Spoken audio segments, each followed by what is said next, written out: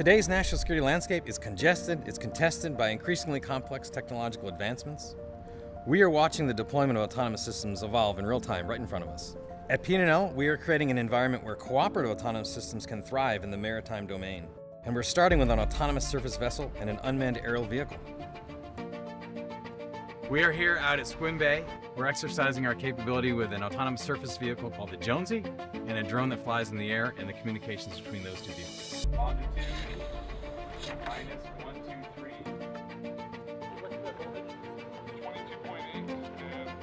The outcomes of today, we're hoping are sort of uh, greater cohesion and collaboration between our different teams and also uh, demonstrating some capabilities in terms of uh, cooperative autonomy.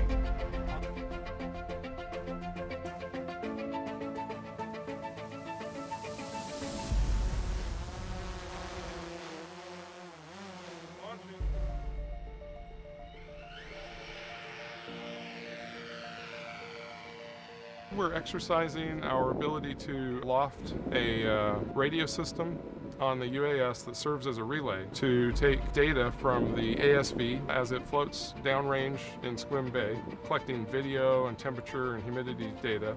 It's going to translate that back up to the uh, UAV which is hovering over our ground control station, relay that data back down to the ground control station. And uh, what we're doing is we're measuring bandwidth and data quality and essentially um, exercising the range of uh, distances that we can perform that, that, that task.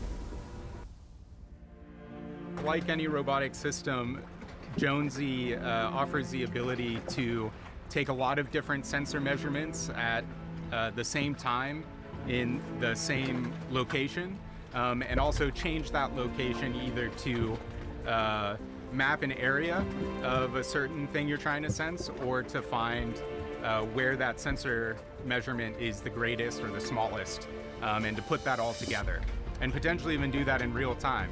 As we take sensor measurements from the dock, we can take sensor measurements from Jonesy and put it all together and have a better understanding of what's going on. We are building this capability for autonomous systems because it, it's critical for many of our national security missions. And what we want to do is get staff engaged, not so much in building these systems, but the algorithms, how to optimize communications between, say, these systems in the cloud and where to use computing resources. These are unsolved challenges. So we're building a test bed where they can experiment and, and figure out how to address these challenges.